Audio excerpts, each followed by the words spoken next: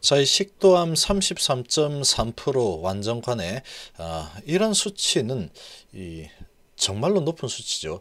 이 환우들 입장에서 보면은 정말로 어, 환호할 만한 어, 그런 정말 큰 희소식입니다.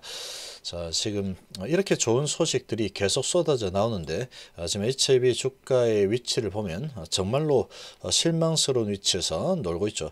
자, 지금 위치는 NDA가 아니라고 하더라도 어, 아니라고 하더라도 이거는 너무나 낮은 위치입니다.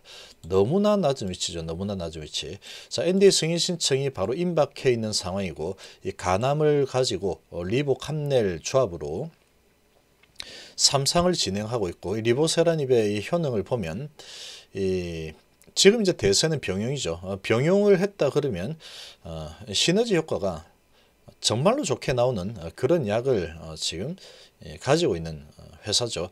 어, 그게 바로 리보사라닙입니다. 어, 그리고 HF죠. 자, 이런 상황인데 아, 지금 이 기다리고 있는 이 NDA 소식이 아직 나오지 않는 이런 상황이다 보니까 정말로 주가 많이 찍어져 눌러져 내려와 있습니다. 자 이런 상황인데 오늘 아, 오늘 발표가 안 난다 그러면 뭐 이제 올해를 넘길 가능성이 점점 커지게 되겠죠.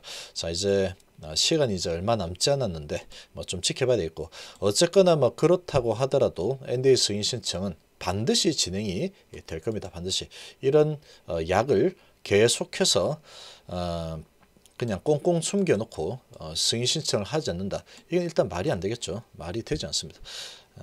어, 반드시 신청할 거고 자, 이 지금의 이런 상황에서는 아주 느긋한 마음과 아, 좀큰 그림을 그릴 수 있는 조금 더 뒤를 볼 수 있는 그런 마음이 정말로 필요한 때다 이렇게 생각이 됩니다.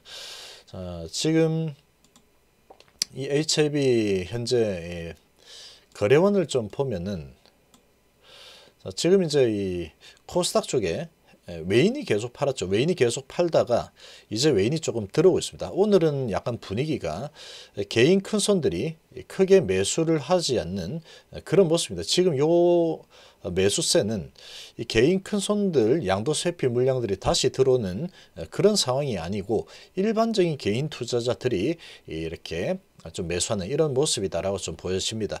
이, 이 정도 모습이라고 보여지고 오늘은 외국인이 이, 이 코사 지수를 어, 좌지우지하는 그런 날이죠. 어, 그런 흐름이 오늘 전개가 되고 있습니다. 자, 아무래도 이제 이렇게 전개가 되는 이유를 좀 뽑아 보자면 오늘 종가 기준이 이 28일이 기준일이긴 하지만 오늘 종가가 너무 높게 형성이 돼 버린다 그러면 이 양도세피 기준을 간당간당하게 좀 오버하는 이런 상황이 또 만들어질 수가 있겠죠. 자 그런 상황이 또 만들어질 수가 또 있는 날이다 보니까 어, 그런 부분을 또 좀 의식을 하면서 어, 양도세피 물량이 오늘은 어, 들어오는 것을 조금 쉬는 예, 그런 분위기가 아닐까라고 조금 생각이 됩니다. 자 이러한 차분한 흐름이 좀 전개가 되고 있고 자 이첩이 지금 이 좀 전에 이렇게 올려드렸지만 어, 지금 식도암에서 33.3%의 완전간해 소식이 나왔죠. 어, 17명이 완전간해가 나오면서 어, 전체 환자의 33.3% 아주 어, 이, 높은 완전간해율이 나왔습니다. 중국에서 이제 세계 네 번째로 어, 많은 사망률을 어, 보이는 암인데 여기서 이제 33.3%면은 아주 큰 수치죠. 자, 근데 오늘의 이 거래원을 보면 특별하게 매수가 들어오는 그런 증권사가 좀 보이지 않죠. 어, 그러니까 양도세 회피했던 물량을 다시 걷어가는 그런 증권사는 좀 보이지 않는 그런 상황입니다. 한국증권에서 계속 들어오고 있긴 한데 자, 이 증권사는 좀 주포 증권사 의 역할을 많이 하죠. 그래서 양도세 피 물량이 여기에서 들어오는 건지 뭐 알 수는 없는 상황이지만 양도세 피 물량이 들어오는 부분은 아니지 않을까라고 생각이 됩니다. 예, 들어오는 쪽이 아무래도 한국을 이용하지는 어, 않을 거다라고 좀 생각이 되고 얘는 그냥 계속해서 어, 한번 사면은 또 계속 매수하는 이런 증권사죠. 오전에 SG증권 쪽에서 3만주 어, 매도를 좀 하고 어, 지금 이제 어, 좀 쉬고 있죠. 어, 쉬고 있는 상황이고 어, 신한도 오늘은 손을 대지 않고 있죠. 어, 신한도 손을 대지 않고 있고 오늘은 이 미래대우하고 한국하고 어, 이렇게 매수를 하고 있고 어, 삼성 쪽에서 어, 좀 매도를 하고 있는 이런 모습이죠. 지금 관여는 증권사가 미래한국, 어, 삼성, NH, 키움 요 정도 어, 되고 있습니다. 지금 보시면 키움에서 뭐 사고 팔고 하는 것은 그대로 진행이 되는 부분이고 크게 영향을 미치는 어, 부분이 어, 미래하고 한국이 매수, 삼성하고 NH에서 좀 매도 요 정도로 어, 지금 좀 전, 어, 진행이 되고 있습니다. 이렇게 이제 전개가 좀 되고 있고 어, 신한하고 뭐 다른 어, 이런 쪽에서는 크게 매도하려는 이런 움직임은 어, 좀 보이지 않고 있죠. 어, 지금 HIB 어쨌건 간에 NDA 승인 신청은 어, 이 반드시 신청을 하게 되어 있습니다. 이거는 안 할 수가 없습니다. 이거는 안 할 수가 없죠. 절대로 하게 되어 있습니다. 절대로. 그래서 뭐 이런저런 뭐 말들이 있는데 그런 거 다 무시하면 되고 이거는 어, 무조건 하긴 합니다. 근데 언제 하느냐가 좀 문제일 뿐이죠.